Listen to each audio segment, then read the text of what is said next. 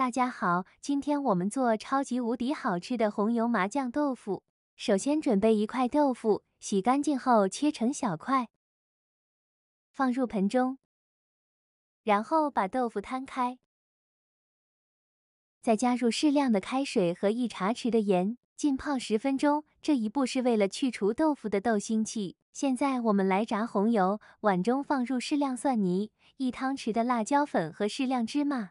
起锅烧油，放入花椒和小茴香各一汤匙，炸出香味后捞出，然后把热油倒入辣椒粉中，快速搅拌均匀，再倒入适量的生抽和蚝油，继续搅拌。起锅烧油，依次放入处理好的豆腐，在碗中放入适量芝麻酱，接着倒入少许麻油，把芝麻酱卸开，再倒入少许清水，搅拌均匀。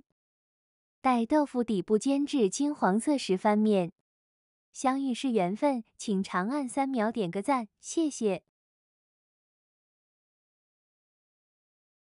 煎至底部金黄时，再次翻面，倒出锅内多余的油，并把煎好的豆腐拨到一边，然后放入葱花和姜泥爆香，然后倒入少许的老抽，这一步是为了上色，再放入白糖提鲜。大火收汁即可出锅装盘。接着倒入炸好的红油，再倒入卸好的芝麻酱。我来替你们尝一块。哇，外焦内软，豆腐和麻酱的香味完美的融合在一起，超级无敌好吃！你学会了吗？